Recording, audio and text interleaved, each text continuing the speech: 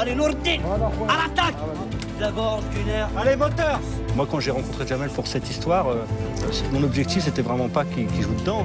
Action. C'est pas que je n'osais même pas imaginer, mais c'était déjà qu'il a dit euh, qu'elle a un écho chez lui. Après qu'il joue dedans, ça a été la stress sur le gâteau. Bonjour, vous allez bien?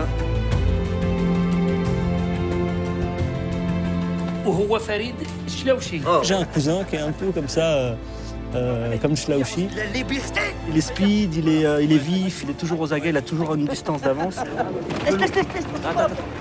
Et euh, voilà, il fait des petits trucs aussi avec le Maroc, il emmène du, du gasoil, etc. Et donc je me suis beaucoup inspiré de cette histoire que j'ai grossi pour créer le personnage de Jamel. Allah, Allah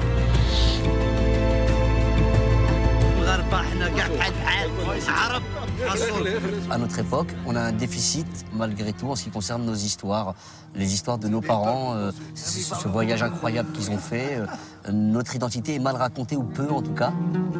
C'est mon père qui devait partir à la France. Et euh, c'est pour moi une opportunité d'avoir de visiter leur histoire, parce que j'ai jamais eu l'occasion d'en parler véritablement avec eux. J'aime même le police, le village. C'est cette pudeur qui fait que on, en sait peu, finalement. Et c'est ce que raconte ce film, d'ailleurs. Vous avez une maison là-bas, une maison ici. Ton père, il a abandonné l'Algérie depuis longtemps. Comme euh, dans la famille de Mohamed, mon père a construit une maison en espérant qu'on y vive tous un jour.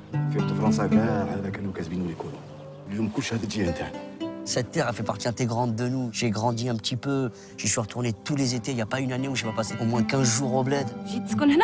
Je suis en vacances. Et c'est cet amour pour le bled, cet amour pour nos racines, cet amour pour notre culture, qu'ont nos parents, qui ont fait qu'on s'y intéresse. Mon père, cette maison, c'est tout ce qui lui reste ici. Mais euh, cette maison, elle représente tous les espoirs de nos parents, pas, pas les nôtres. C'est ici, chez toi.